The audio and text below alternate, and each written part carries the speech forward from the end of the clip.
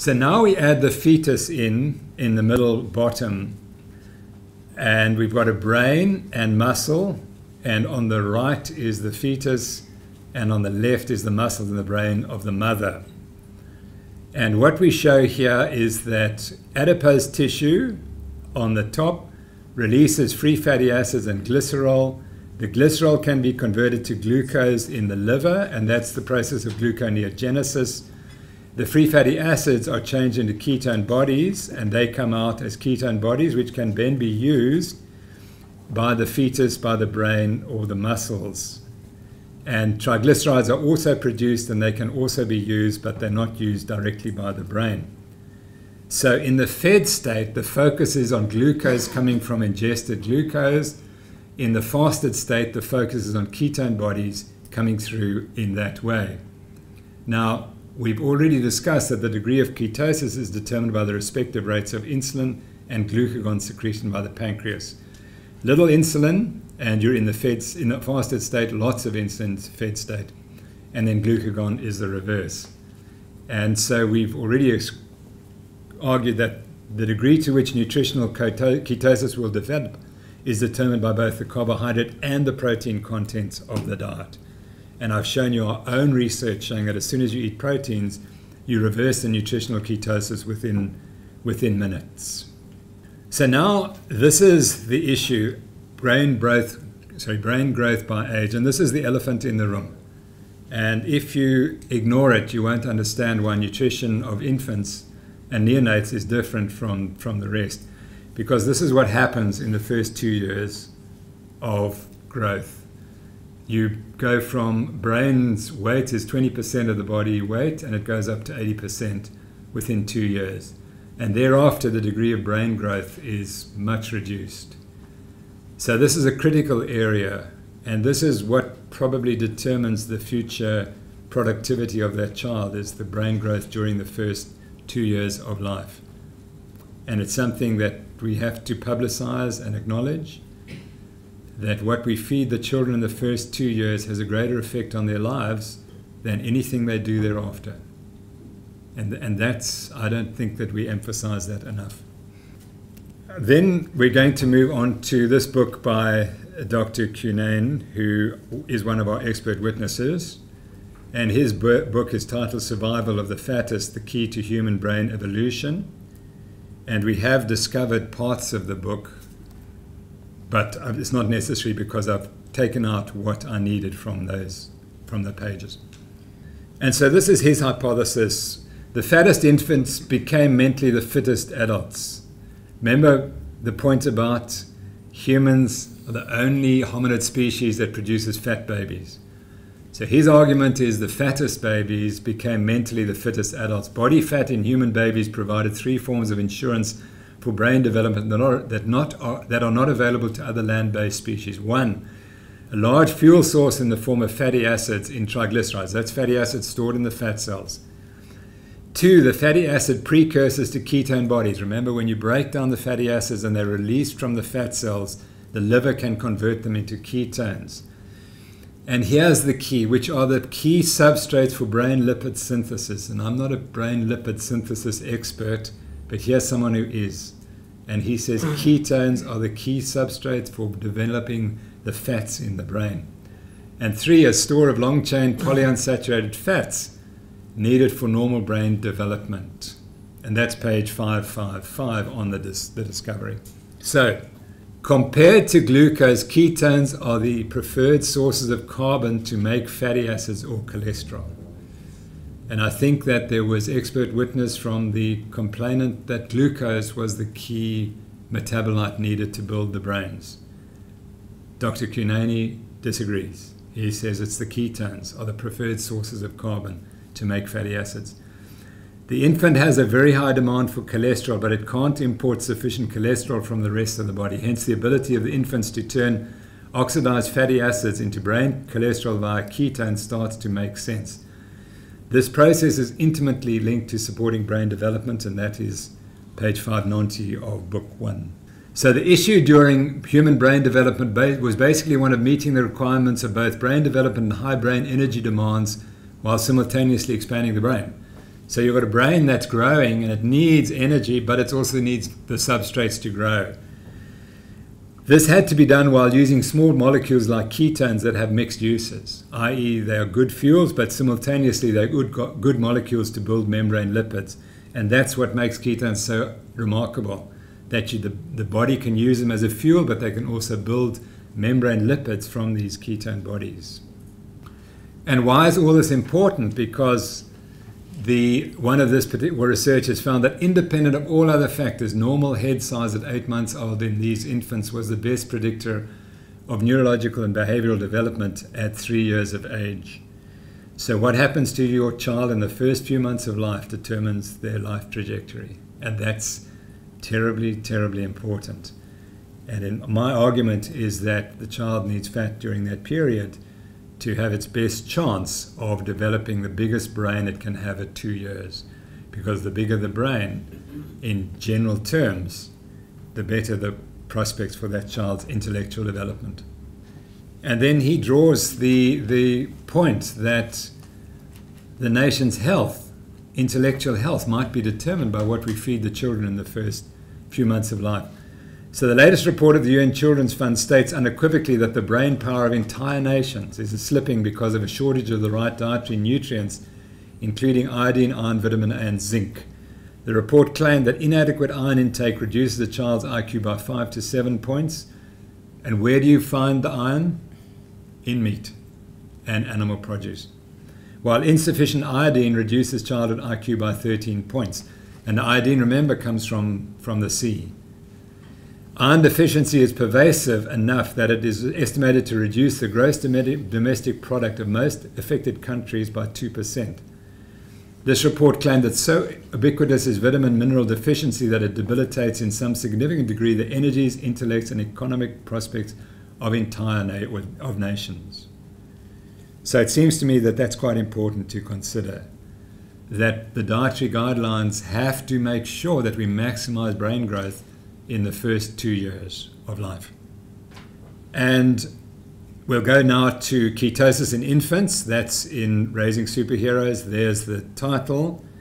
And I'm going to then continue say what what I, what actually appears in the in the book to make sure that what I wrote in the book is compatible with, um, with what I'm telling you. So I wrote there second, adequate ketone production during the first two years of life is crucial for the growth of the baby's brain. This is because, as I've told you, ketones are a key source of carbon for the brain to synthesize the cholesterol and fatty acid that it needs in the membranes of the billions of developing of nerve connections. Ketones are the preferred carbon source for brain lipid synthesis, and they come from fatty acids recently consumed or stored in body fat. Again, emphasizing the importance of having fat babies that have got the triglycerides able to produce the ketones in the liver. This means that in infants, brain cholesterol and fatty acid synthesis are indirectly tied to the mobilization and catabolism of fatty acids stored in body fat. Thus, mildly elevated ketones are essential for normal brain development, at least in humans. And I'll give a reference 41. In addition, maternal ketone body production protects the fetal brain during times of food scarcity, when the mother's blood glucose concentrations must fall. The fetal brain uses ketones instead of maternal, maternal glucose to cover its energy requirements. And let me remind you what I said before that the mother is becoming insulin resistant. And as her insulin resistance develops, she's doing it to save the glucose to send to the child. But if she doesn't have enough glucose, the child will die unless it, she can produce ketones. And she also becomes more ketotic and able to send more ketones to the child, the infant in the fetus the fetus in her uterus. And that fetus has the capacity to use those ketones to cover its energy requirements. So the next paper that we've we've uh, given is the critical role played by animal source foods in human Homo evolution. And again, this is the point that I tried to make with our journey through human evolution and what happened at Pinnacle Point. And the point is that animal source foods were crucial to our evolution because they allowed us to build this big brain. And that's where we differentiate ourselves from the other, other hominids.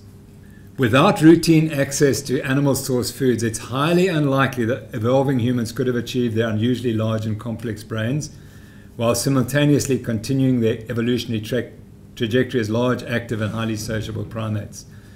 As human evolution progressed, young children in particular, notice this point, young children in particular, with their rapidly expanding large brains and high metabolic and nutritional demands relative to adults, would have benefited from volumetrically concentrated high quality foods such as meat. Such foods are not generally available to many people today in low income nations. And he says that that is a negative, as we've, we've emphasized at great length. And as human evolution progressed, animal source foods likely achieved particular importance for small children due to the energetic demands of their rapidly expanding large brains and generally high metabolic and nutritional demands relative to adults. So it was the children, it was the infants who benefited most from the change from the, the diet when we introduced, introduced carnivory and we introduced meat. It was the neonate that benefited the most. Now, in this article, you will see there is an, this, this diagram and it's titled The Relative Gut Proportions for Extant hominid, Hominoids. That would be gibbons, siamangs, orangutans, gorilla, Chinese, and human. Uh, sorry, chimpanzees and humans. And what we've got here is the six species, stomach, the size of the stomach relative to the total intestinal length. Then we've got the small intestine length, then the cecum and the colon. And what it shows is humans are utterly different completely different. Their gut is utterly different from all the other primates. And why is it different? So humans are different because they do not have a different stomach. The stomach is relative to the total intestine same length. The small intestine is much larger, much longer. Sorry, it's much longer in relative terms. And the cecum, which is the start of the large colon, is much less, and the colon itself is very short. And I showed you that diagram. These animals with these huge colons have massive extended abdomens because they ferment, they ferment food. They ferment cellulose and produce saturated fat, which they then use for their metabolism. We don't do that. We do all our digestion, or most of it, in the small intestine. So that's the, the crucial difference. And the reason we do that is because we are carnivores and we do not have to ferment. So, digestion and absorption of nutrient dense foods occurs in the small intestine, and that's where we focus our energy. What we do is we go and kill animals which have lots of fat in their bodies. And then we've invested, instead of having this huge colon to degenerate the fats, we say, well, let's let them do the job. We'll kill them, we'll eat them, and then we can get rid of all this wasted energy in the colon. So digestion absorption of nutrient-dense foods occurs in the small bowel, and the fermentation, fermentation, fermentation of nutrient-poor foods, we leave it to, to the other animals, and we don't have a large colon. and this is, so this is absolute evidence that humans are carnivorous. We're designed for carnivory. We're not designed for fermenting plants in a large colon and cecum. So humans are primates adapted to carnivory. The next paper that I've, we've discovered is the ape's dilemma to the weanling's dilemma, early weaning and its evolutionary context. And this talks about what happens when humans started to eat animals. The shift in the hominin prey image to the carcass and the use of tools for butchery, which remember came around about 2 million years ago, increased the amount of protein and calories available, irrespective of the local landscape. However, the shift brought hominins into competition with carnivores, increasing mortality among young adults and necessitating a number of social responses, responses such as alloparenting, where both parents are involved. The increased acquisition of meat, about 2.6 million years ago had significant effects on the later course of human evolution and may have initiated the origin of the genus Homo. And that's the argument that I had been developing already. So their argument is that actually what first happened, we started scavenging. We didn't kill the animals, we scavenged the meat from other animals that killed the animals, and then we chased the we chased the carnivores away and ate the food. So di- such a dietary shift, scavenging meat about 2.6 million years ago, would have particularly benefited three groups. Notice three groups, and they're all children: the developing fetus, lactating sorry, not all children, developing fetus, lactating females, and weanling children. Although the advantage to the fetus to mothers may have appeared earliest, it was the weaning child who benefited most in an evolutionary sense, since since it's during childhood, before seven years of age, that the structure and capability of the adult brain is established. Again, focusing on weaning onto a high meat diet and the benefits to the brain, and they putting it in the evolutionary context. So it's not difficult to imagine a scenario in which play involved a nut processing hammerstone was shifted to a nearby carcass, leading to the discovery of a new and effective way to acquire brain and bone marrow. And that's crucial. So that the, the carnivores, like lions, don't eat the brains and they don't break the bones open. So they were always left. And humans would have learnt that they were highly nutritious, full of this fat, the, the brain and bone marrow. And so they would have shifted to eating that. So all they had to do now was let the animal be eaten by the lions and the cheetahs, and then they could get to the brains and the bone marrow. So the shift in the earlier hominins prey image led to the recognition of the carcass as food, effectively changing the course of later human evolution. So that's the hypothesis that was eating meat, and particularly the fat in the brain and in the bone marrow, that allowed us to develop our large brain. So, so one of the questions was, well, there are there are communities that are still hunter gatherers, and the Hadza in northern Tanzania are one such population. And this is a paper published in 1962. And I was looking for, so what do the children of the Hadza hunters get fed? Because it's not cereal from from Woolworths. It has to be something else.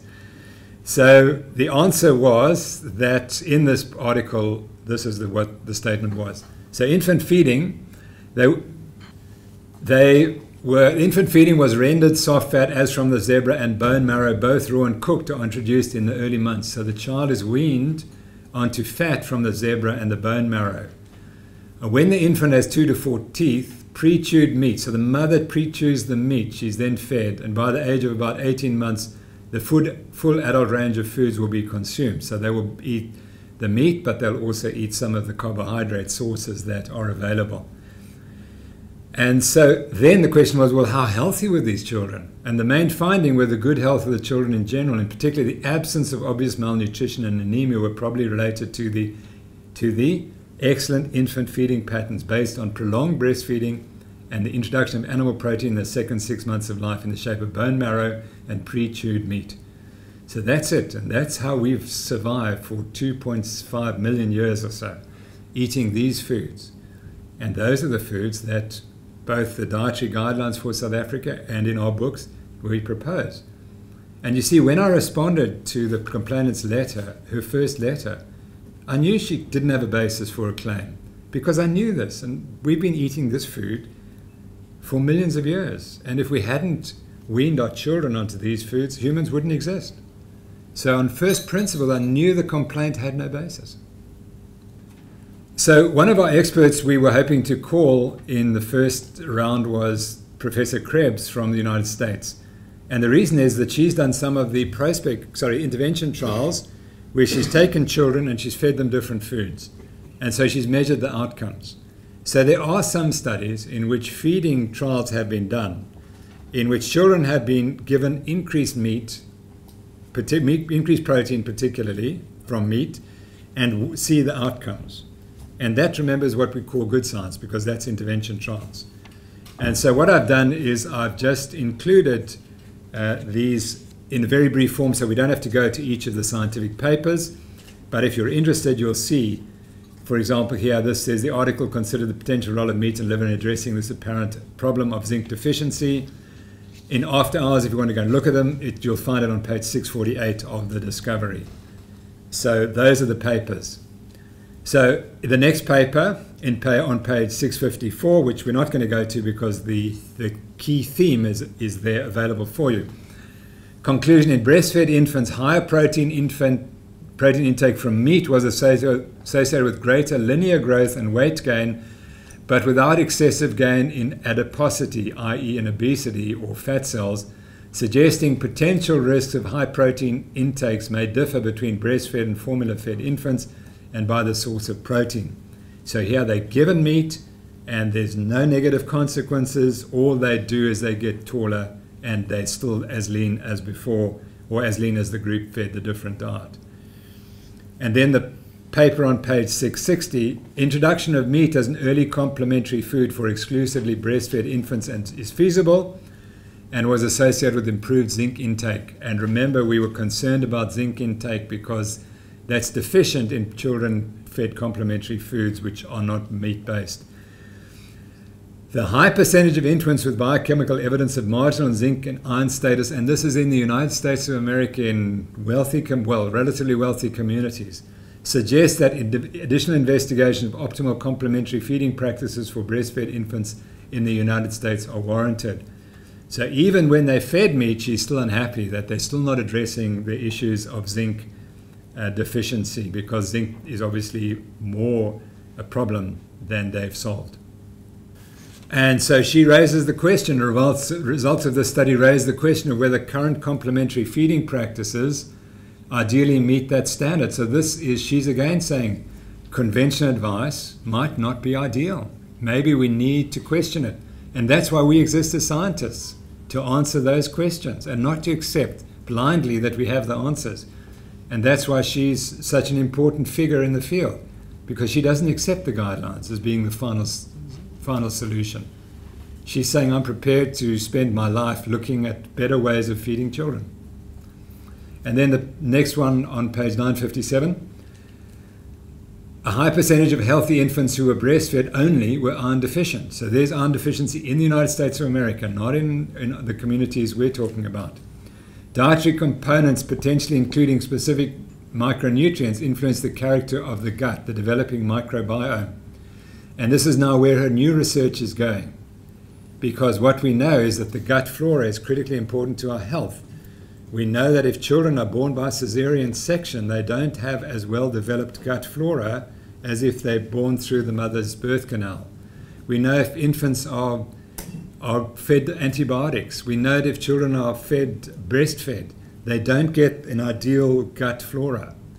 And so that all those questions of what effect does feeding say, meat or cereals on the gut flora? We don't know, but she at least is looking into those questions.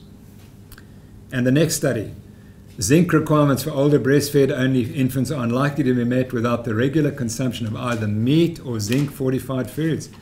And notice she doesn't say the consumption of zinc fortified foods or meat. It's meat and then zinc fortified foods. Which is the op- better option? Meat. Again, because it's in the regular package that humans have been eating for 2.5 million years, and we know how to digest it. Zinc fortified foods, how do we know that that's the way we designed to digest these foods? So she said results of these studies, although requiring further verification, suggest that increased meat intake by breastfed infants older than six months old would adequately support both iron and zinc requirements. So there we go. Feed them complementary foods which are cereal based and you can't be certain that you're covering the iron and zinc requirements, even if they're fortified. But when you feed them meat, then they probably get then they're getting all the iron and zinc that they require. And it's recommended that infants transition to a diet consisting of 30 to 40% calories from fat, with a gradual reduction to 20 30% calories from fat by year two. And I don't think that that's going to be proved correct. I don't see any reason why you'd want to cut the fat consumption, the fat in the diet and and she's also influenced by this fear that I'm going to make the kids fat and they're all going to die of heart disease. But I think that's that's going to be shown to be incorrect. But the point is, this would be described as a high-fat diet, which is the diet that I we prescribed in the Real Meal Revolution and in Raising Superheroes. And this is again more on the ketosis in in infants. And I want now to to move on to ketosis and ketone bodies and discuss again how crucial ketone bodies are for the infant development, and particularly the brain development of the, of the infant. Now, one of the complaints, and this I just we addressed on page 322 on raising superheroes, is that ketone bodies are damaging and dangerous for the child, the neonate, because there is some publication out there which suggests that children born with mothers who were in ketosis or don't do as well or have more brain damage or whatever. So I wanted to go and look at the basis for that complaint and the study I came up with was this one. And what it shows were there were no teratogenic, i.e., no cancer producing effects in animal studies where they had raised the blood ketone bodies to values found in normal pregnancies. And I've given you the, the data, and it comes from this article. So recall, I because I have a responsibility, I'm writing a book, I must be certain when people say that something happens and it's negative, I've got to go to the source. So I went to the source, and this is the paper. And what he was trying to achieve, this guy, was to show that he could induce abnormal cells in the brain brains of research animals. In fact, he chose rats and he took rat fetuses and exposed them to different concentrations of ketone bodies and different concentrations of glucose. And then he looked at those brains to see had any of them developed teratogenesis, i.e., indicating that they were developing cancers. And here's the actual data from, from the slide, from the data. And here, the top panel, the very the very top is it says glucose 1.2 milligrams per ml, and you'll see that there's a small little black dot, black square next to it. And that's the control group. And what that shows us is that there's very little effect of glucose 1.2 milligrams per ml. Very few uh, lesions were developed. However, if you increase the dose to 12 milligrams per ml, you see that there are about 50% of these rats develop abnormalities and a lot of them are major in red and some are minor. But as you reduce the glucose concentration down to the normal range, 6 milligrams or 3 milligrams, you'll see there's very little evidence for teratogenesis. So what that tells you is it's not just ketones that are dangerous for the for the baby's brain, it's also glucose, and that point wasn't perhaps made. And remember, that's why the infant is secreting insulin. So in the diabetic mother who's producing too much glucose, the brain of the infant's being exposed to too much glucose, it has to secrete insulin to get the glucose down to make sure it doesn't have brain damage.